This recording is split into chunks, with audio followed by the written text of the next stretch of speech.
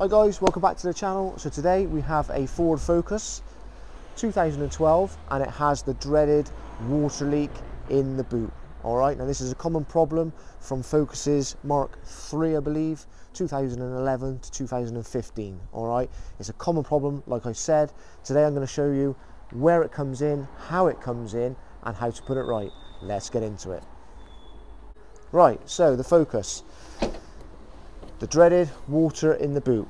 Now, at first thought, you might think that it comes in from your rear lights leaking or something like that, but in actual fact, guys, it comes from inside your bumper, your rear bumper, okay? They've got sound deadening sort of foam pads in the rear, all right, both sides. What happens is the water drains down and soaks into there and it causes a, a capillary action.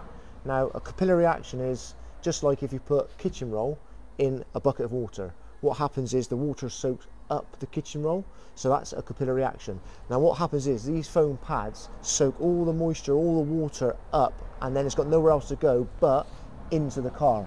So if you come on in, these pads actually sit below your wheelbase, your wheel well. We've actually got this one out and cleaned it all out. What happens is it actually overfills and spills in. You can still see slight residue left over, but we've we've emptied as much as we can out um, to try and make a start on it. To do the job properly, guys, you need to remove the rear bumper. All right, so that's going to be the next step. When we get that, I'll explain how to get it off, what to do, and how to put it right. Okay, so stay with me, and we'll move on to the next step. Okay, so a quick way to find out if yours does have this issue, this common water leak, is if you go up under the rear bumper, they have got little drain holes, okay, on both sides. Now, if you can just see just there, all right, that is one of the drain holes. And if you just push it up a little bit, you see the water there just starting to come out? There you go, see? I don't want to take it all the way out, all right? But before we start to do the job, we will take those out, drain as much of the water out as we can, so it doesn't go everywhere you know when you actually start to do the job. So if I look under the driver's side now which is the one that we've removed already you can see just here. Okay that just there. All right so we've removed that one and that's all drained out. Okay right so time to get the rear bumper off. Right so first step is to remove the rear lights Again, you don't have to do this, but there are clips that sit just underneath here, just underneath the, the lights for the bumper that make it a lot easier. So first of all, remove your rear lights,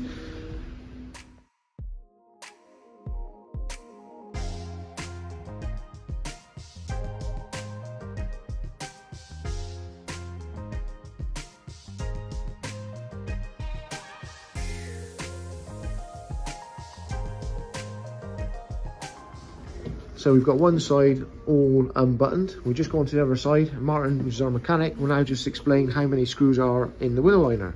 There's two um, Torx, 30 Torx that hold the wheel arch liner in place, and then 130 Torx that holds the bumper in place. There you go. We've now also removed two 7 mils from either side of the bumper and two panel poppers underneath the bumper. Yeah, okay, and so now guys, do you remember earlier we were saying about taking the rear light out, which makes it easier because it reveals this clip here. So Martin will show you now how much easier it is with the light out. So I'm pull the bumper off there, just some clips, lever these up, and the bumper comes off. See, easy as that. Okay, so that's one side done. Martin will go over now to the other side. Don't get me wrong, this will help if you had two people, but I leave him to it.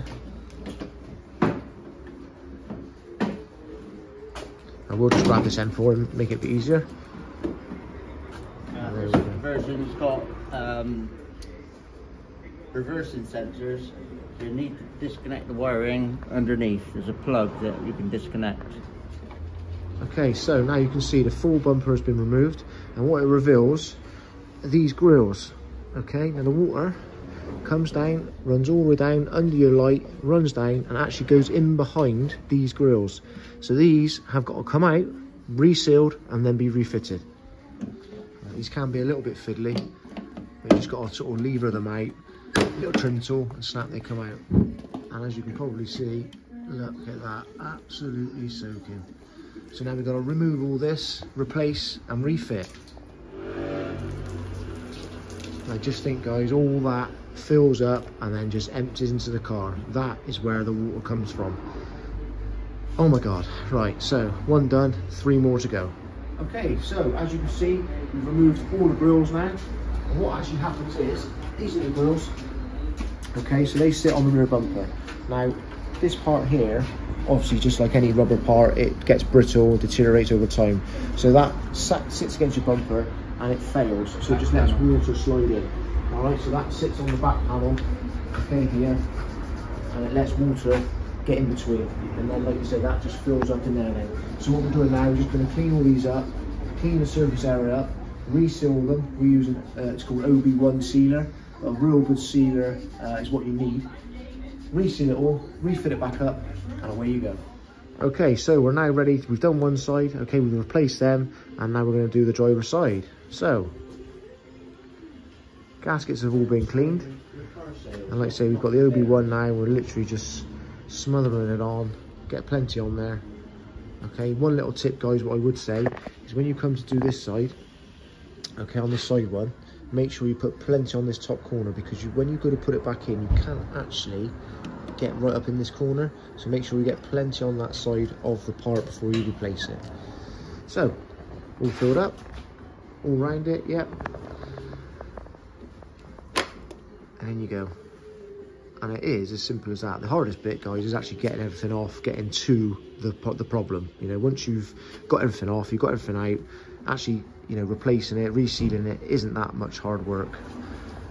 Okay, so hopefully, guys, this will help you out. We'll come back when it's all done and refit it up.